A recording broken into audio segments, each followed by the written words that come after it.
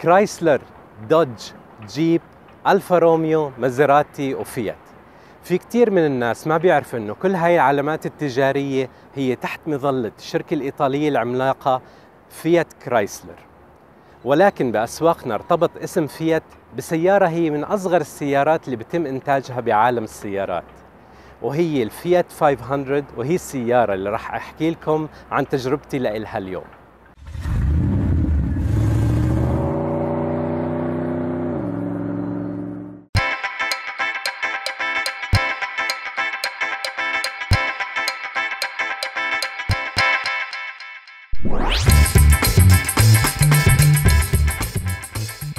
فيات جاوبتنا على سؤال مهم كتير. هل بتقدر تاخذ تصميم عمره 60 سنة وتحدثه ليتماشى مع أذواق الناس؟ هلأ الجواب كان نعم. فمع الفيات 500 فعلا التصميم تم تحديثه أعطانا سيارة عصرية ومميزة لدرجة أنه ما رح تلاقي شيء بيشبهها على الطرقات اليوم أبدا.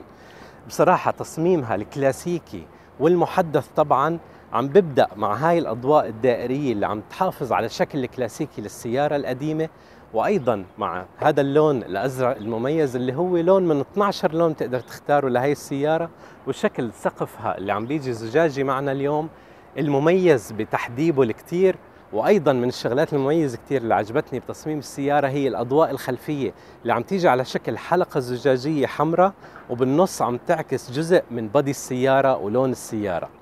والسيارة بالنسخة اللي معانا اليوم أيضا عم تيجي مزودة بجنوط مقياس 15 إنش كمان عم بتحافظ على الطابع الكلاسيكي لهي السيارة الجميلة والمميزة جدا.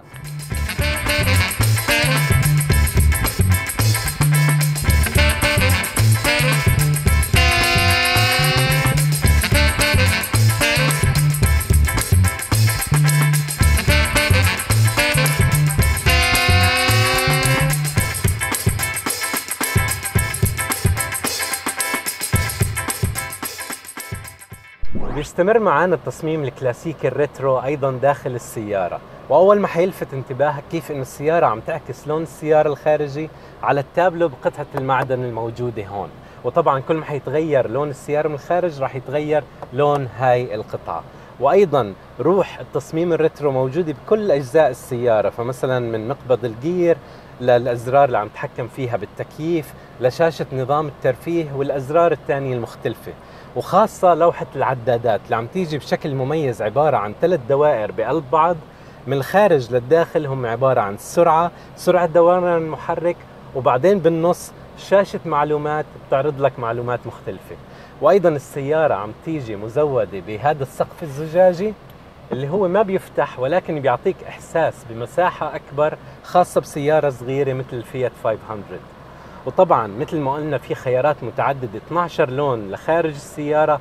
أيضا عندك خيارات متعددة كتير للون القماش المستخدم على مقاعد السيارة. أما من ناحية المواد المستخدمة بصناعة السيارة من الداخل فعدا عن قطعة المعدن الموجودة على التابلو مثل ما قلنا والقماش المبطن الموجود على الأبواب والقماش طبعا الموجود على الكراسي فباقي السيارة عم تستخدم نوع من البلاستيك اللي كتير خفيف. بكل أرجاء السيارة. ولكن هذا أدى إنه فيها تقدر تبيع السيارة هاي بسعر جدا منافس. يعني هاي السيارة عم تبدأ معنا من سعر 59500 درهم بس. ومع هذا السعر عم تحصل على تجهيزات أساسية بهاي السيارة. نظام تكييف عادي نظام ترفيه فيه بلوتوث وإمكانية تحكم لتغيير قنوات الراديو أو الميديا عن طريق الأوامر الصوتية. آه ولكن عدا عن هيك السيارة عم تيجي بتجهيزات قياسية جدا.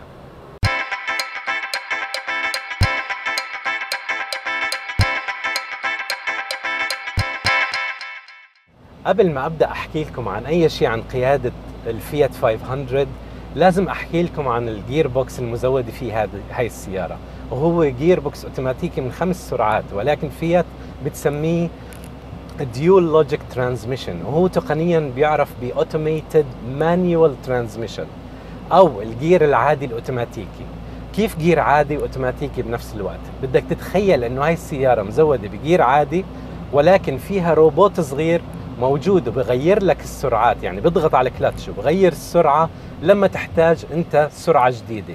إما طبعا عن طريق تغييرها يدويا عن طريق مقبض ال gear أو ال paddle shifts الموجودين هون خلف المقود أو لما تكون أنت بالوضع الأوتوماتيكي وتحتاج السيارة إنها تغير ال gear. طبعا مع قيادة السيارة شوي وجدت إنه بدك بعض الوقت لحتى تتعود على هذا ال gear box. وبالوضع الأوتوماتيكي عم بيعطينا شوية تأخير بين السرعات. وعم تحس إنه السيارة عم بتهز شوي بكل تغيير سرعة. أنا فضلته بصراحة مع الوضع اليدوي اللي أنت ممكن تغير فيه السرعات مثل ما قلنا عن مقبض ال gear أو ال paddle shift.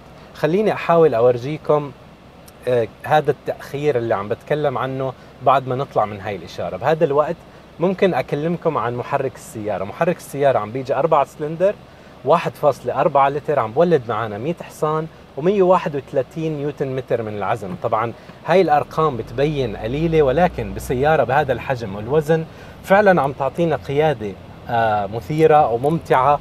وفعلا حتتمتع بقيادتها خاصة بالمعاطفات خاصة إنه لما هذا الجير بوضعية سبورت حيمسك معك السرعة اللي أنت فيها لأعلى دوران للمحرك.